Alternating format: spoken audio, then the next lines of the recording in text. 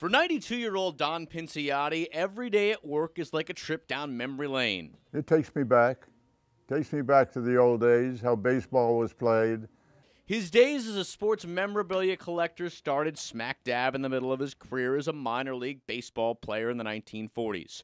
In fact, Pinciotti still owns the first set of baseball cards he ever bought.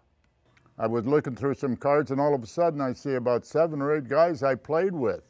And I said, Oh my God, I, will buy them.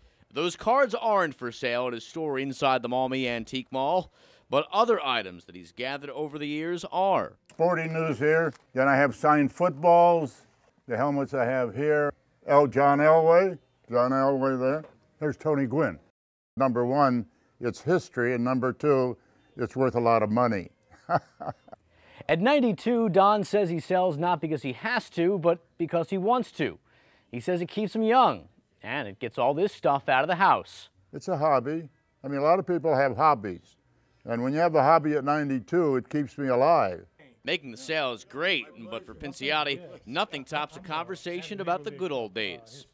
It's the meeting of people, talking to people about baseball, and it keeps me going. As they say, the past is in the past. Unless, of course, it's presently on sale for 250 at Pinciotti's store. Mike Lacett, T Sports.